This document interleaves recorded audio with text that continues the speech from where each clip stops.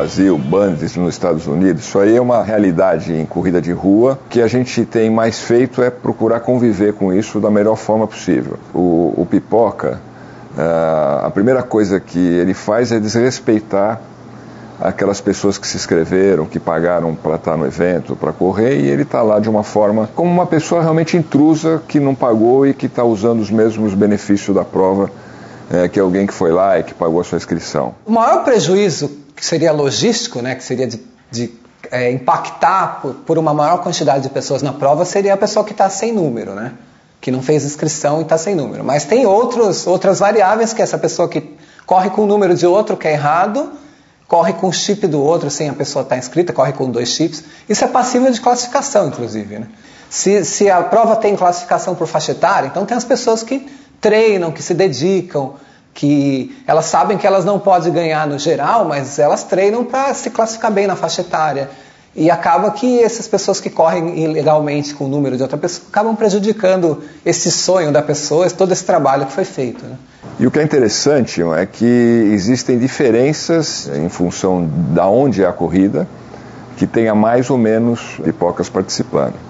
Aqui em São Paulo, é, precisamente, por exemplo, quando você faz uma corrida na região do, do Parque do Ibirapuera, o número de pipocas é sempre muito maior porque é um local que as pessoas no domingo vão normalmente lá para treinar, ver que está tendo uma corrida e aproveita que está com o trânsito fechado, que vai ter uma hidratação e acaba entrando junto na, na corrida e acaba participando da corrida sem estar inscrito. Já chegamos a ter uma média até de 15% de pessoas uh, não inscritas participando de prova na região do Ibirapuera. Nos outros locais todos, a, a média varia sempre assim de, é, de 5% a 10%, uh, você sempre tem é, pessoas não inscritas participando de prova. Então, imagina que você organiza um evento para 5 mil pessoas e vão 10% a mais, vão 500 pessoas a mais. Então, são 500 pessoas a mais usando o banheiro. Se cada um pegar 3 copos de água, são 1.500 copos de água. Então você tem que levar um, um, caminhão a mais de água, gelar essa água. É uma crítica que eles fazem, alguém que está organizando alguma coisa, sem conhecer os custos que estão inseridos no evento que você faz. Hoje, para você começar um evento, você começa com custos altíssimos, desde locação de uma arena para que você use os espaços, mesmo até os espaços públicos mesmo.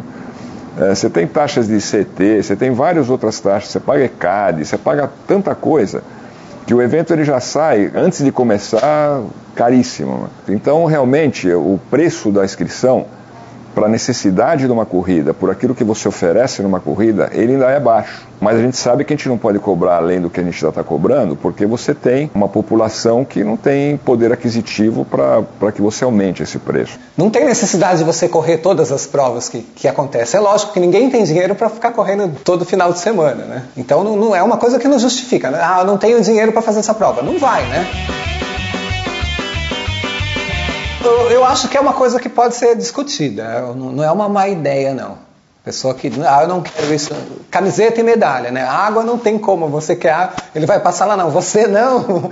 É que também é difícil é, você é, atribuir o valor a cada coisa, né? Ah, vai diminuir quanto? 10 reais? Porque a camiseta vale 10 reais? Ou vai diminuir 20? É, é, é meio complicado de você fazer essa conta, né? Porque tem outros serviços que o corredor nem sabe que existe. Então, esse seguro, a despesa dos staffs, o site da prova. É, todas as provas hoje em dia, elas têm, os organizadores têm escritórios, têm funcionário, têm cargos trabalhistas. Então não é só o que você paga de inscrição agregado à prova que você está fazendo, são outras coisas, né? Tem o funcionário da empresa, tem a pessoa que atende telefone, essas pessoas recebem, né? É uma ideia, não, não, não diria que é, que é algo que não se possa pensar, né?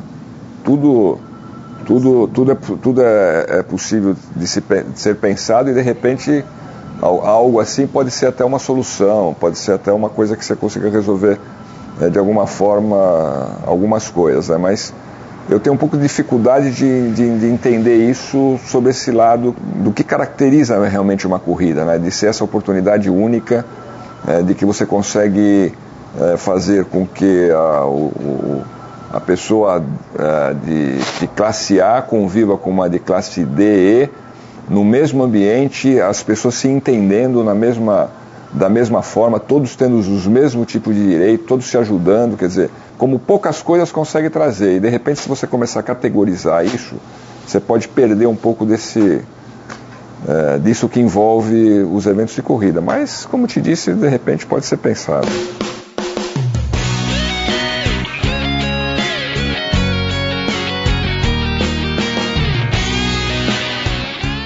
As pessoas confundem o que é público com o que é do público, né? Você não pode entrar em determinados locais a hora que você quiser. Né? Se, eu quiser correr agora na Avenida Paulista, eu não posso, eu vou ser atropelado, né?